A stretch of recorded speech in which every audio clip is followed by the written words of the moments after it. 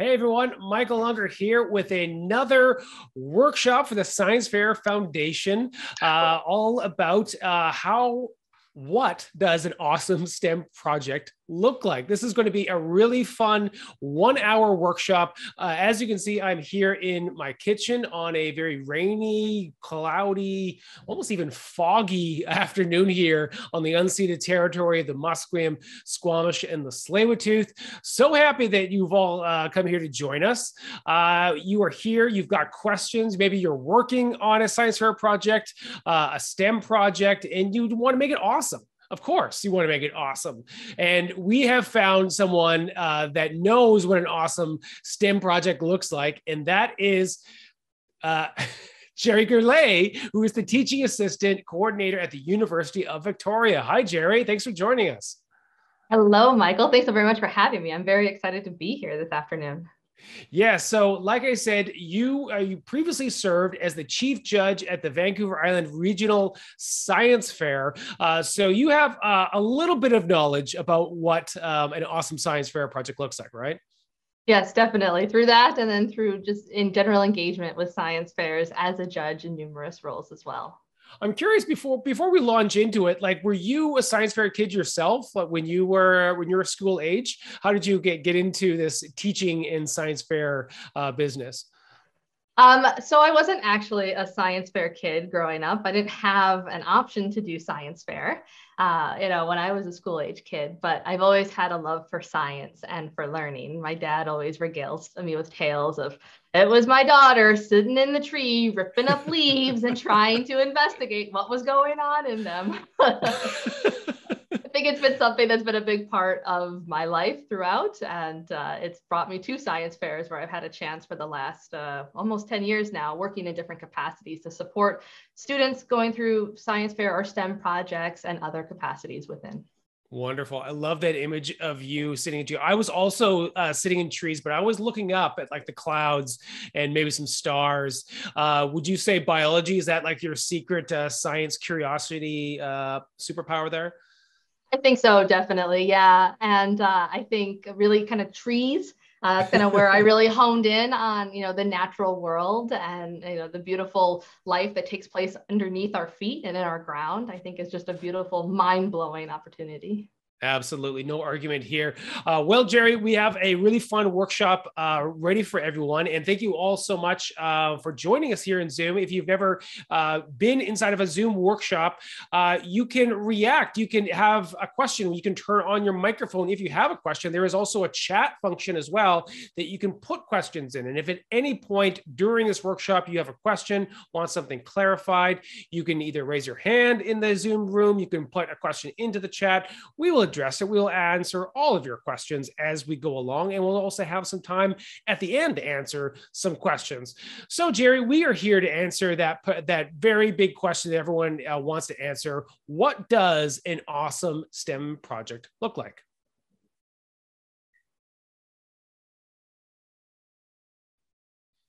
Perfect, Michael. Can I get a reaction from our audience that they can see the screen? So we should see what does an awesome STEM project look like. Looking good to me.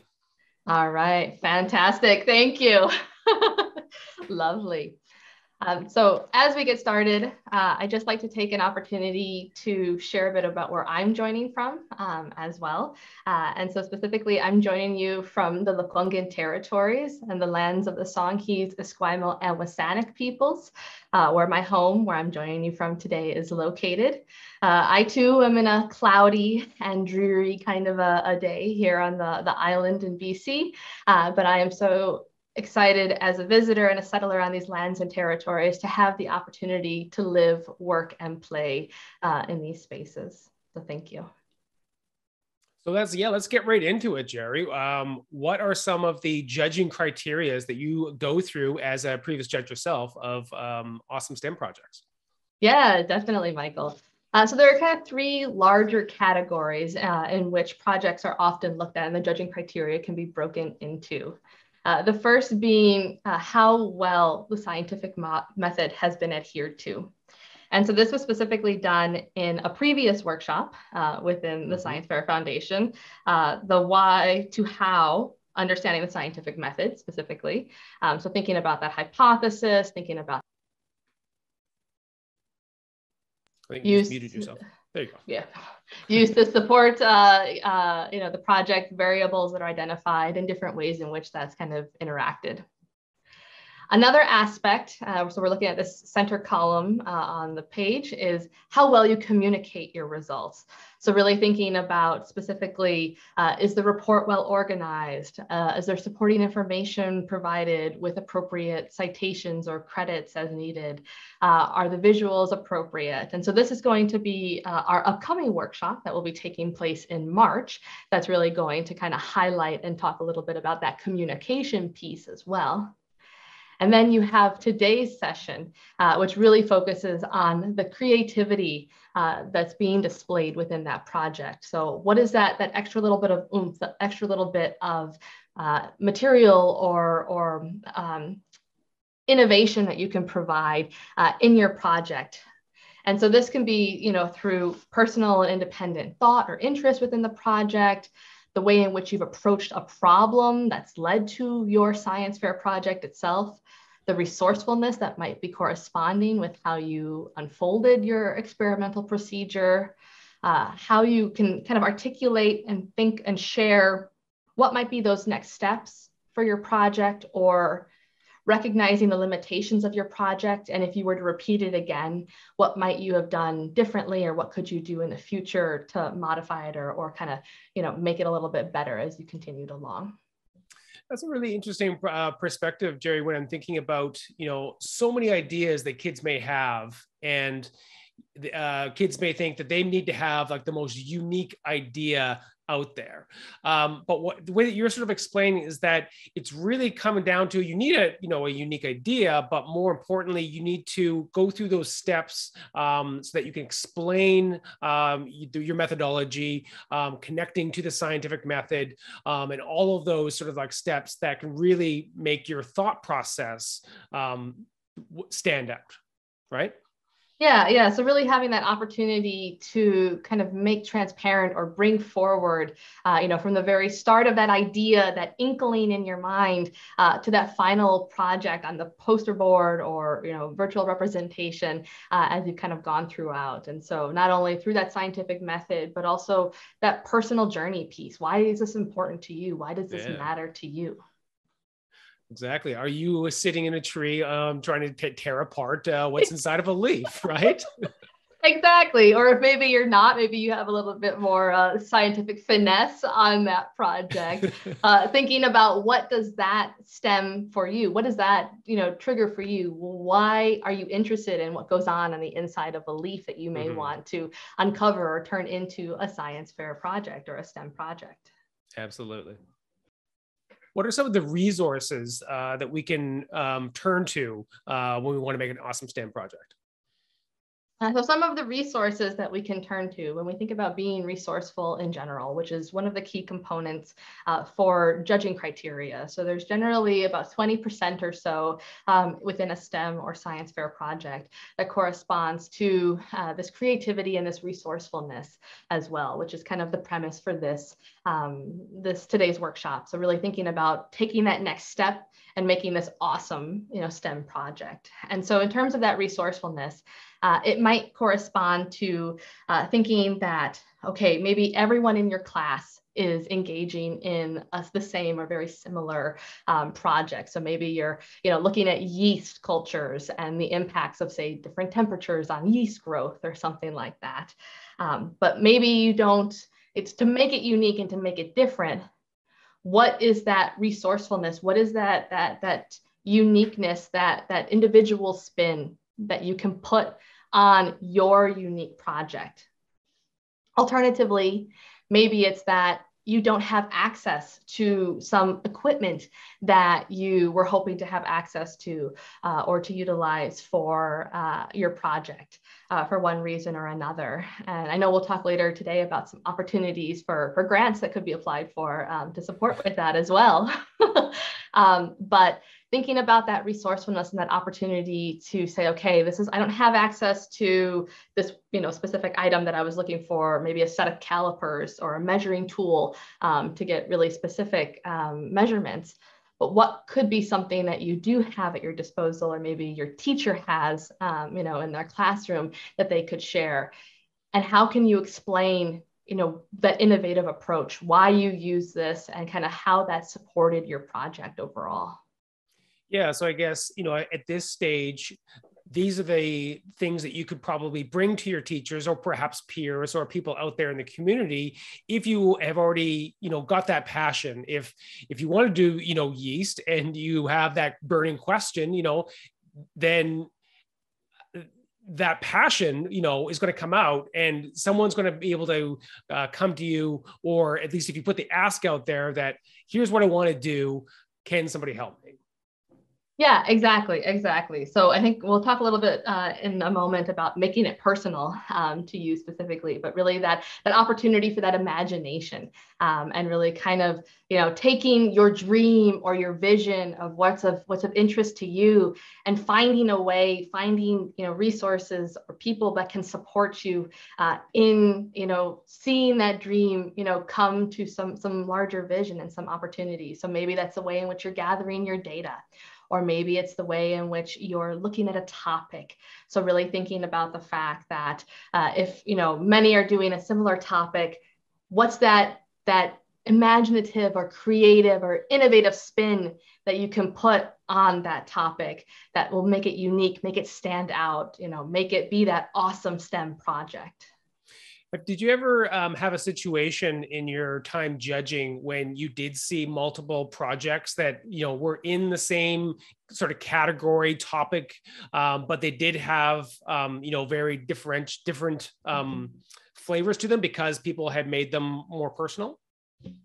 Um, yeah, definitely. So some opportunities thinking um, specifically around maybe topics that were similar throughout multiple projects, but that personalized spin or that unique spin um, that can be added as well uh, can correspond to some um, might be with yeast. Um, so I've seen in my experience, uh, you know, different ways for measuring um, yeast growth or different ways to kind of, um, you know, look at budding yeast. Um, and so thinking about, again, backing it up with the scientific method, backing it up with evidence as to why that specific, you know, model was selected or chosen, um, but having an opportunity to kind of put a different flair or a different spin on it or you know maybe one person you know um, streaked their their petri plate uh, with the yeast you know in the kind of uh, generic um, way that we do the the spreading for for yeast plates. But maybe another person felt that they wanted to test out parts of the alphabet um, and so having this opportunity to, instead of streaking um, in, you know, maybe what you see on the image here on the left-hand side of the screen, where maybe it's going in different um, orders as you're kind of spreading out the yeast itself, maybe doing different letters and seeing if that impacts the growth uh, and the general proliferation or the budding or how much of the yeast is generating um, over the same amount of time. Uh, so just different ways in which that can be, um, you know, kind of coming together uh, is an important piece too. Wonderful. I'd love for if anyone here in the in the uh, in the meeting, uh, if you're at that stage and you've got you've got some ideas you want to share with the uh, share with us where you're at, throw it into the chat. I'd love to hear some of the project ideas uh, that you're in from. And you know, we've got uh, Gerry here for another 45 minutes. Uh, now's the time to to pick her brain. Uh, let's let's move on, uh, Gerry, um, and talk about sort of like that personal motivation and uh, how we can uh, turn this this idea into a really meaningful one. Yeah, definitely. Um, so this this personalization piece is really important because it allows us to kind of see the inner scientist in you. You know, what is it that makes you tick? What is it that's on your mind constantly when you're thinking about where am I going to go with my STEM project specifically? We do also have a worksheet that corresponds with this workshop. And so if you're following along for that, or the link will be shared in the chat as well. Um, this corresponds to pages one and two in the worksheet, which are some really thoughtful questions to help you kind of think through what you might be uh, wanting to, to use as that next stepping stone for your project itself specifically. Um, because it's great that you know we might see similar themes throughout different projects. And if you've been to a science fair before you'll see that projects are sometimes grouped by general category or, or topic area. Um, but every individual has a unique story to share. And bringing that to light can really kind of sell your project. It can really kind of be that piece that that can set your project apart. And so having that opportunity to have what's important to you what resonates with you what maybe keeps you up late at night that you're pondering about you know time and time again? And how can you take that that little nugget that little spark and turn it into an opportunity for a stem project? And i know this corresponds really nicely to an example of a project that uh, i've seen before which uh, stemmed from uh, the students um, parent uh, working in a hair salon and doing a lot associated with um, dyeing, uh, dyeing of hair, uh, so colorations, uh, which kind of corresponds to our image on today's screen as well. And what was unique about this is that the student, you know, definitely recognized, and the, because of the parent complaining about the toxicity of some of the dyes that were being utilized and some of the potential concerns, the student took this to the next step and was like, oh, I want to help out my parent. I want to figure this out. I want to do a little bit of testing to see how toxic is this really.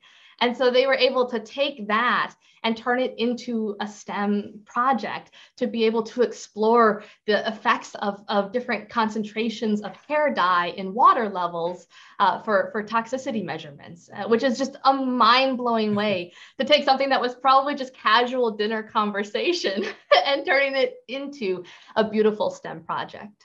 Yeah, I love this story because it really turns any place, you know, uh, into a laboratory. Uh, any room that you walk into could be the place where you get that next idea. I'm thinking about when I was a kid, my dad owned a billiard shop and he sold pool tables. And I, you know, I, I couldn't even reach the pool table. I just like, you know, throw the balls around on the table and watch them smash into each other. And that really kind of like seeded a lot of my thoughts around asteroids and things smashing into each other and really the formation of the solar system, you know, and all all that stuff that's just it's a game it's a very silly thing but um, i started to make those connections you know and if i was in a if i was a kid right now i'd be doing something on um, on physics on how ricochets work. Um, um, I, I love how you can turn any room any place into a laboratory Oh, yes, definitely. And I think, you know, for me, you know, I, I mentioned earlier my love for plants uh, and, and botany is a big component for my, my studies. And, you know, I can remember not only from the stories that my father would regale and tell time and time again at dinner about me being the daughter with the scuffed up knees and, you know, sitting there tearing apart leaves, um, but also to a time when, you know, there was an unfortunate uh, incident in one of our trees in our backyard, this beautiful, beautiful maple that I used to play with uh, unfortunately got sick um, mm. and, and had really bad gall infestation. So if you've ever seen big knots or big pieces that come off of trees, um, you know, those are the galls uh, that can, depending on how bad they get, potentially kill a tree. And so we had to cut down this big, beautiful tree that I had so many memories with. And I can remember being so distraught and so upset. And at that point, I swore off all trees and I wasn't going to do anything with them. And then fast forward 15 years later, I did my graduate studies in in trees and looking at you know ways to protect trees uh, from the changing climate. So that opportunity that spark you know eh, when you think about that stem project what is it that you're interested in? Where is it that you see that that kind of novelty or that kind of piece that just makes you you know turn your head to the side and say huh that's pretty awesome.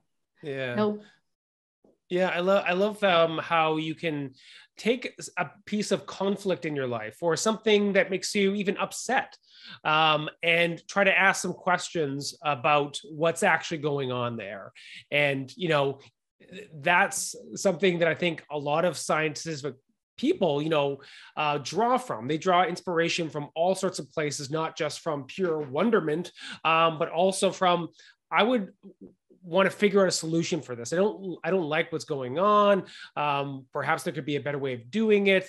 I see a lot of great projects that come out of that kind of mindset. And even last year, one of the winners of the science fair drew upon something uh, that I was really curious where the inspiration was. But it was a lake, and um, there was a study around the um, about uh, the composition of the lake and it all stemmed from this lake was a really important place from her childhood. She used to visit there a lot. So that actual specific place you know was what drew her to this um, to this project in the first place. And so um, really anywhere that you are is the place where you can find your inspiration yeah, definitely. The, the world is your oyster, as uh, as that cliche goes. But you're all on your own unique journeys, and I think that's a really important piece is to kind of bring in that individual journey, bring in that uniqueness when you think about your STEM project. Yeah.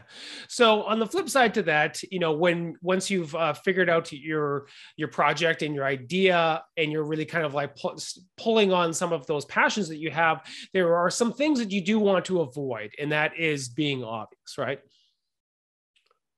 Yeah, definitely. And and so you know, it's important to keep in mind even if it's a project that maybe has been done before or done in a similar way or uses uh, a theme or a category or an organism, for example, eggs or yeast, um, that really thinking about what is that unique spin that you can put on that, or what is that that personalized question that you can ask related to that that topic or that area to turn this into that awesome STEM project.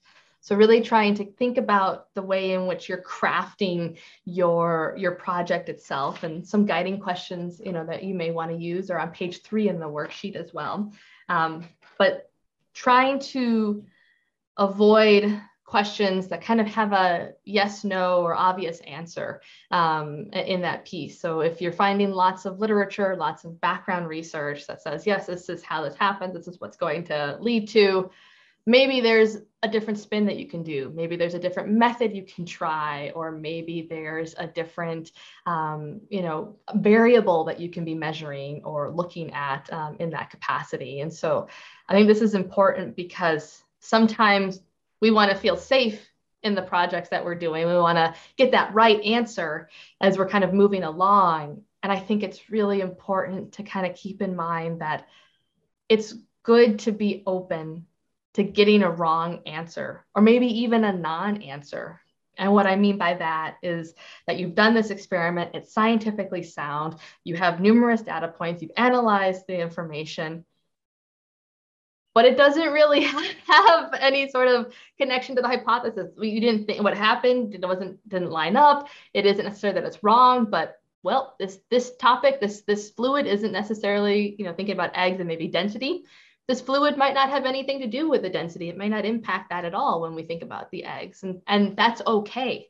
You know, it's showing people that this you've you've tried, you were innovative, you tried something different, and okay, it's that's not that's you know it's a non-answer. I, I've got friends who you know have done all of these different projects and all of these different pieces looking at different aspects of of certain bacterium and the results just kept coming up null or nothing. That well, this doesn't hurt it, but it doesn't help it.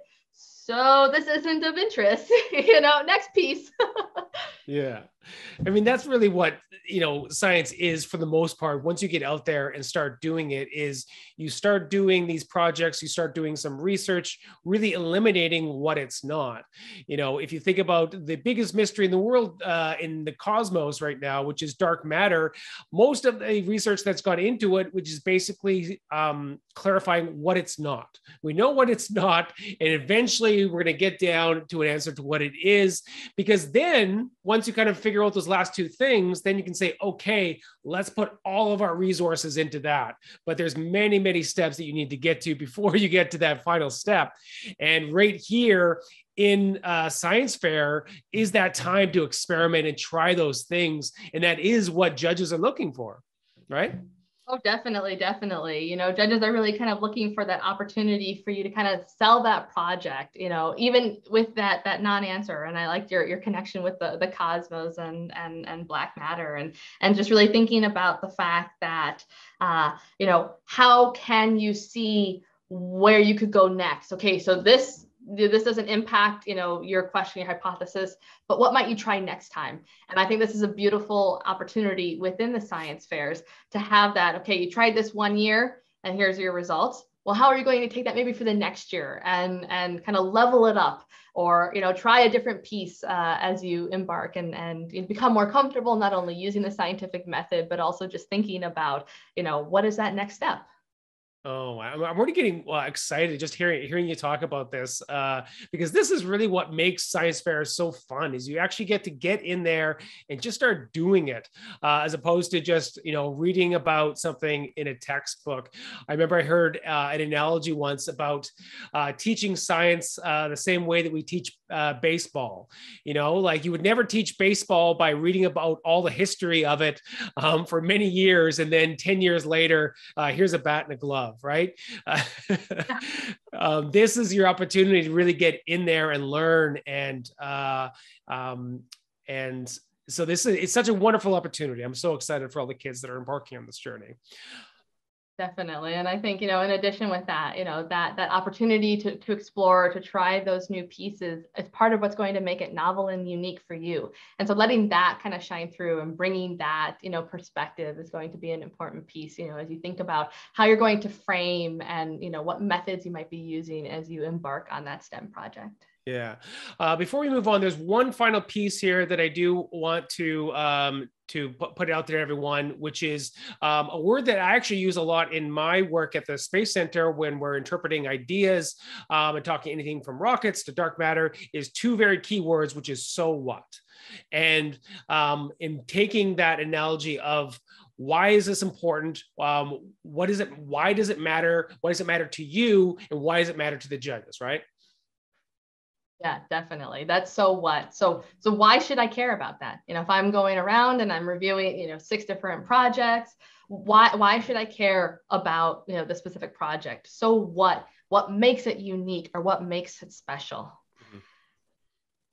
But also within that, you know, how is this important? And so maybe there's an opportunity. Uh, you know, I know that this is uh, there was an example project I saw that a student um, their their one of their parents had recently been diagnosed with diabetes uh, and they were really concerned and really uh, distraught by um, you know this news and they wanted to test different fruits for sugar concentrations uh, in different ways. And so they engaged in a project uh, that that uh, basically found that apples which unfortunately was their parents uh, favorite juice had the highest level of sugar uh, oh, in their no. experiment. And so their their so what was was i went to my parent and i told them they can no longer drink apple juice.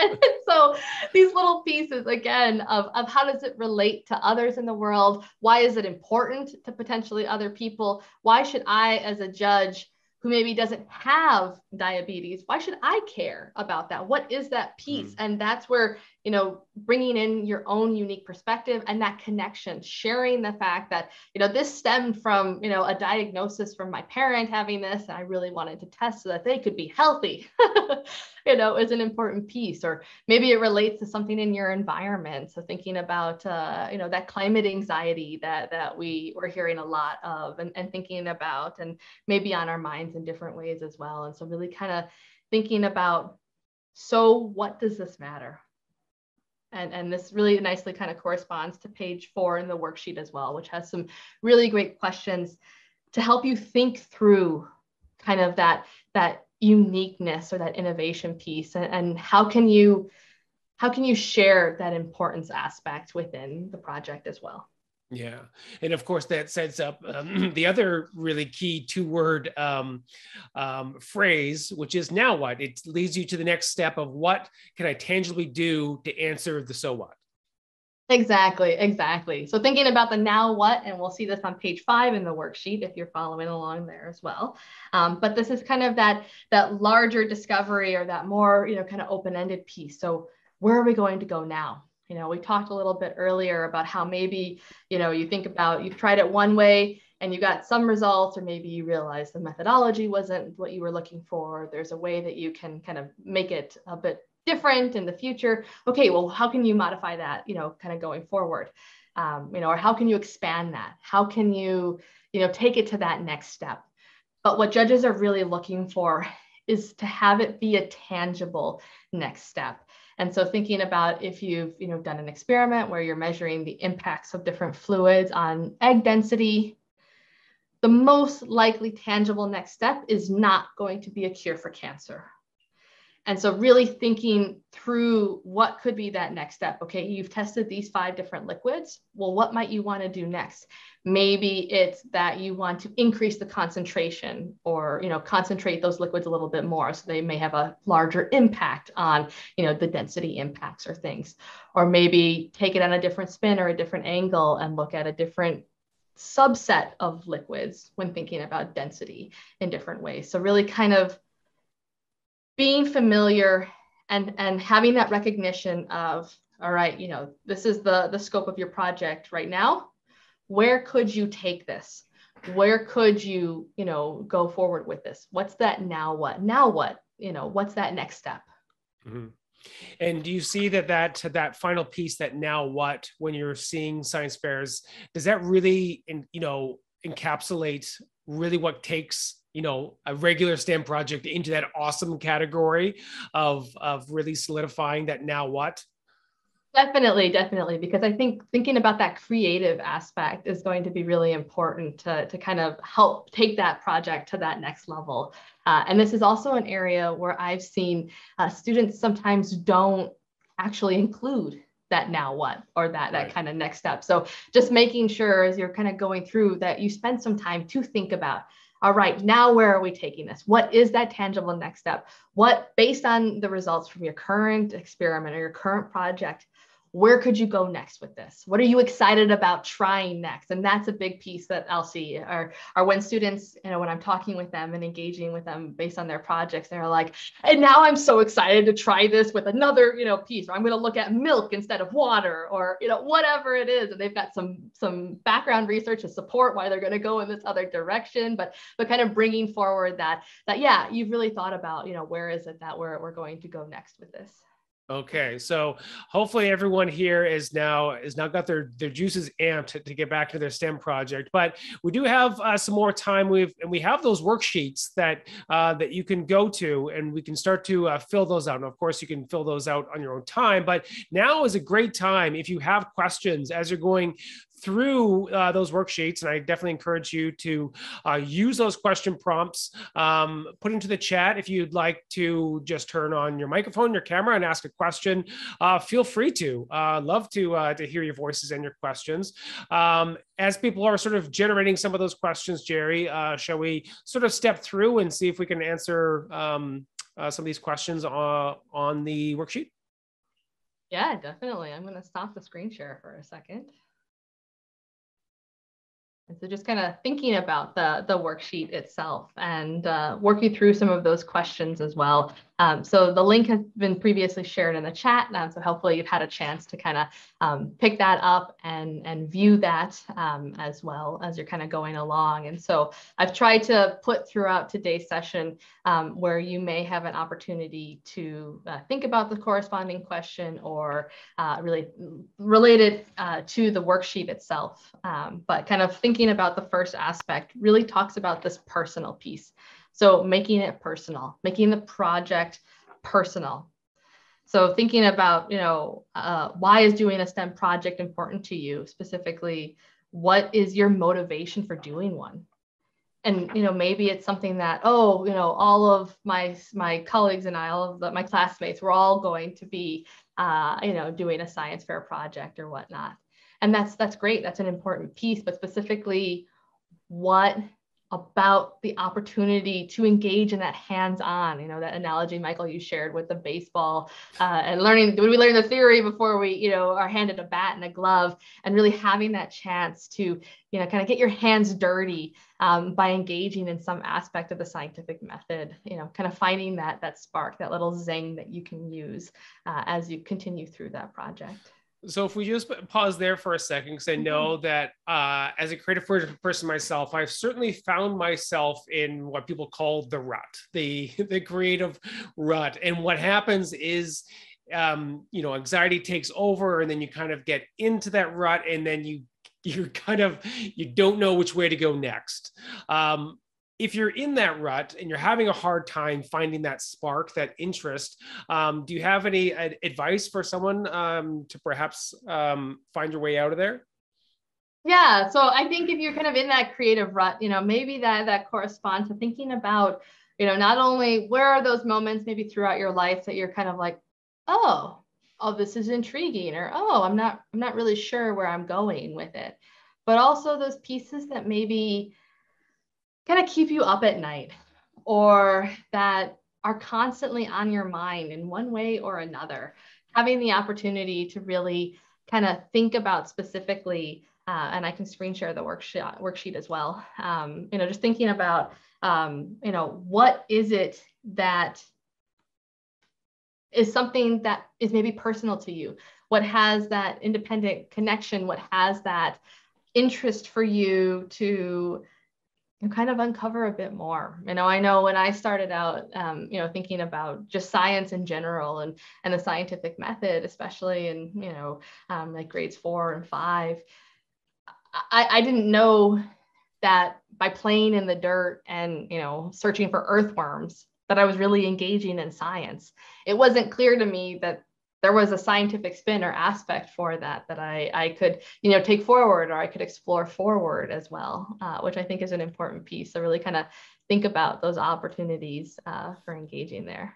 Yeah, I can also think about the times in my life that I think perhaps some students, you know, later on, once they get into high school, um, perhaps if you're in high school, there are those pressures, I think, that start to come about what you're going to do after high school and what you're going to do in your life. And I think that, you know, science fair is this opportunity to be uh, you, to kind of separate yourself from that whatever you choose in your science fair doesn't necessarily need to be connected with you know where you're going to take your studies after uh, after high school. This is your opportunity to experiment and have fun. And many of the uh, past science fair participants that have gone on and, and won prizes uh, if you check out on our podcast let's innovate a lot of times their projects aren't connected to what they took in their studies and certainly not connected to what they're doing in their lives now. Um, so you know that pressure i think is a lot of it's you know it comes from different areas. Could come from your parents could come from teachers uh, all sorts of places but certainly yourself. I was certainly one of those kids that put a lot of pressure on myself to always you know make the right decision. Um, but hopefully you know from this your the message can be um, follow your passions and just let those instincts uh, um, take you into a awesome stem project Oh, definitely, definitely. And I mean, I know I was very much, I felt that uh, I, I, couldn't quite understand where I wanted to go when I thought about science and kind of, you know, next steps or pieces. And I've done, you know, projects on bacterium and fungi and plants and sea slugs. just having that opportunity to explore and to just kind of see yep nope don't want to do that. Nope that's too stinky. Nope. You know they grow too slow for me. And so really having that opportunity to explore and using your science fair project as an opportunity to to explore. Maybe it's something that is piquing your interest. Maybe it is something that's kind of you know oh i'm not i'm not really sure. You know, we haven't talked about it too much in class maybe but i'm kind of interested use that as an opportunity to maybe mm. uncover a little bit more, unfold, you know, that topic a little bit more. Yeah. Another question that comes up uh, is, you know, we've talked a lot about why, you know, show you know showing your your inner rainbow showing that inner passion that you have inside of you can really help your project so what are some techniques um, that you could use to showcase that science fair project you know it can't just be you know putting making brightly covered slides and and talking really loud you know there's more there's more to it than that.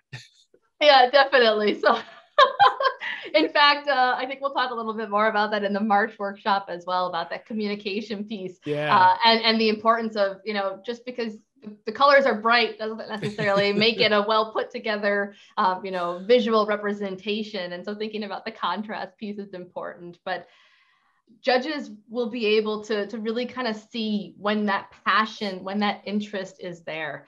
Because you know you could you know look at your poster board or look at your virtual board and and show and share um, you know uh, so I decided to look at the impact of higher temperatures on yeast. And I studied this because I was interested in growth impacts, which is okay, great. Thank you for clarifying that. Thank you for starting to tell me a little bit about your project. But you could also spin it and, and say, have you ever wondered about the impact of high temperatures on yeast growth? Or thinking about ways in which you're kind of creating this story or this narrative. You know, you are creating a report that's going to correspond with your science fair project as well. But really thinking when you have that time, you're in person or on Zoom or wherever the format is with the judge.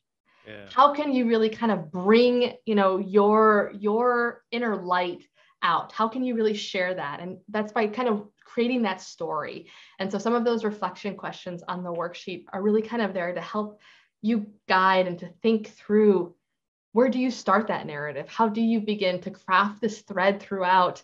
Uh, yes uh, like like creating a hook um, so how can you draw the attention uh, of the person listening? You know, how can you really keep their their rapt attention as they're like, oh, oh, great, this is fantastic. Oh, yes, this is this is wonderful. I want to hear more. I want to hear more. When they're like, oh no, my time is up. But you know, how can you keep them wanting um, as you kind of continue and think about developing that project?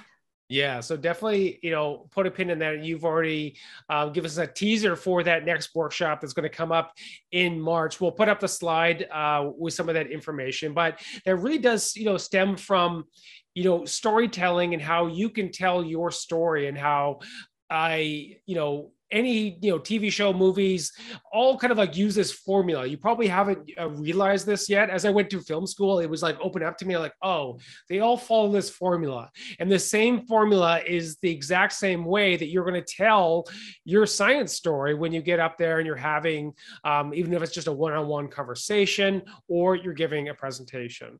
Um, so we'll go we will go more in depth into that communication piece uh, in uh, in the next workshop.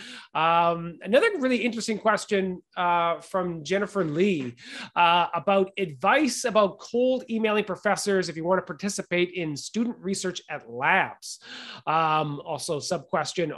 Uh, how pertinent will projects about COVID 19 be to pique the interest of judges?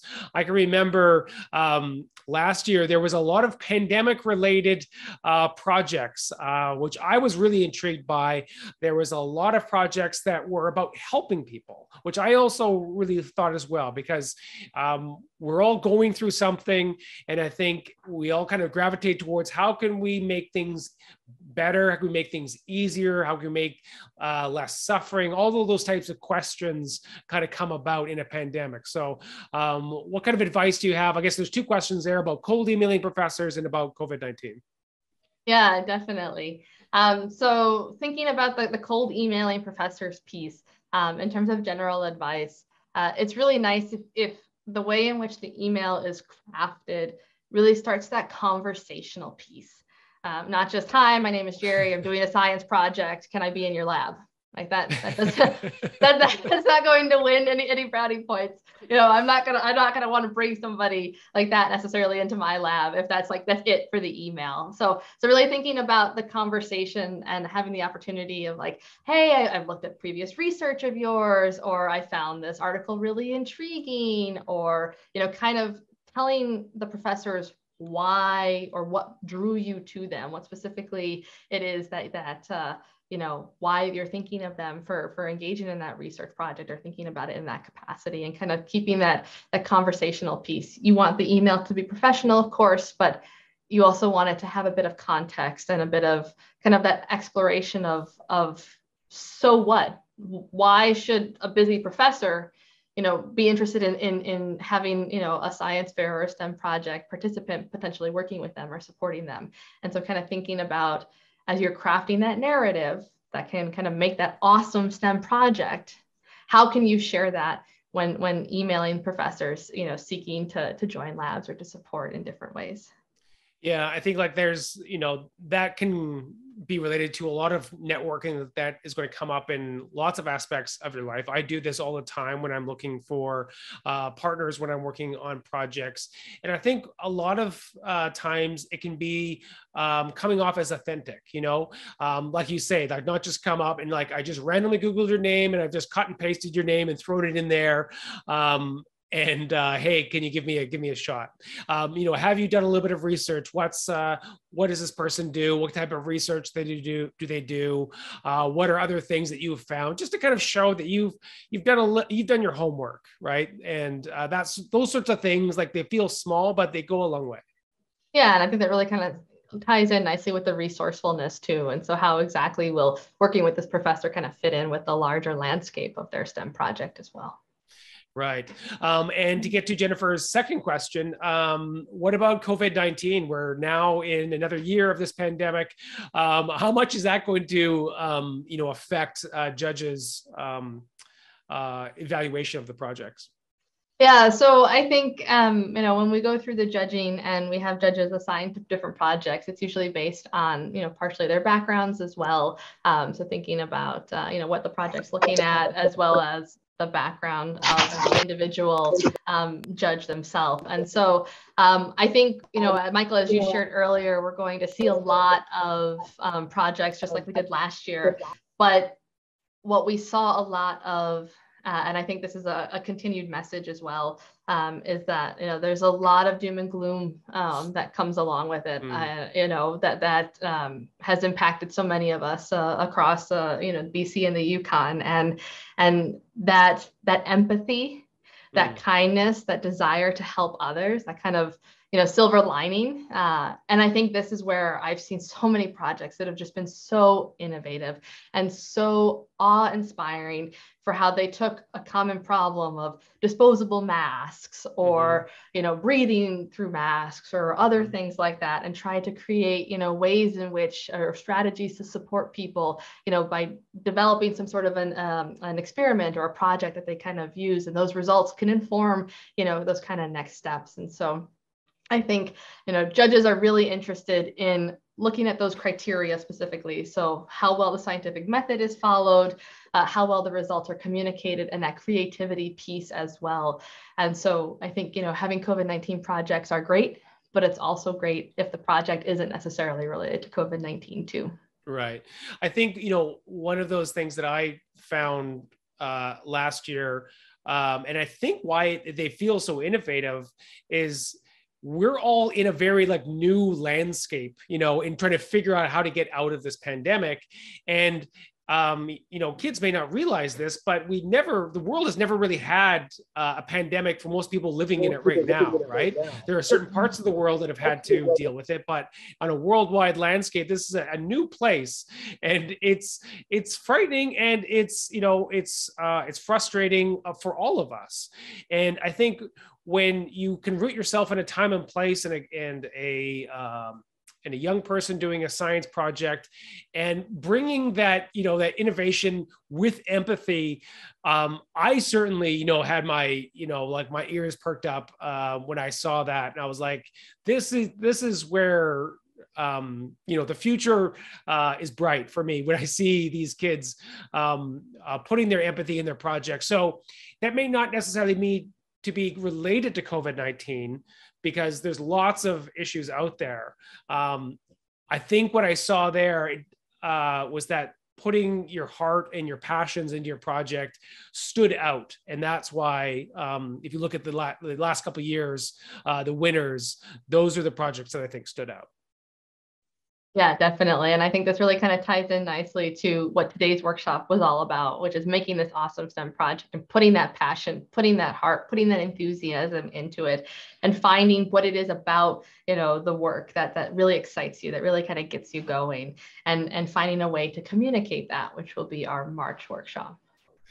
Uh, right. Yes, we're almost at the end of this workshop. Of course, if uh, you're here, you've got uh, some questions about all of the stuff we've been talking about, how to make your STEM project awesome. Lots of um, prompt questions that are there for you to work on on the worksheet. Uh, please feel free to put any questions uh, you have for Gerry into the chat. Uh, if you'd like to raise your hand um, and turn on your microphone, you're welcome to. Uh, just raise your hand, uh, let us know that you'd like to ask a question on camera, and we will turn you over. but let's throw up um, those last slides, Gerry, so we can let people know what else is coming up um, because we do have uh, some more workshops coming up. Uh, our next one is going to be analyzing uh, those results, um, getting us to that next workshop in March was about communicating uh, reports, presentations, and interviews. Uh, make sure to check those out um, on our website, uh, sciencefairs.ca, uh, same place that you signed up uh, for this workshop. Um, and if you have any questions about your STEM project, we also have the mentorship project um, that is still ongoing. It's available now until mid-April. This is a great opportunity uh, if you are, you know, in this place, uh, still trying to get uh, those wheels turning. Uh, maybe you need, you know, a one-on-one conversation. This is where the mentorship program can really help you get to that next level. Um, you know, if you're not sure what your results mean, you're looking for that expert advice. Uh, so please go to sciencefairs.ca, ask for help slash mentorship. Uh, that can be a really great um, uh, opportunity for you if that is you in that position. And of course, we also have grants that are available. Deadline is coming up. Uh, so if you have a great idea for that STEM project, and uh, like Gerry said off the top of this workshop, you know, maybe you've got that great idea, but you maybe need just a little bit of funding to get something um, to make that project awesome. Well, there is funding available for you.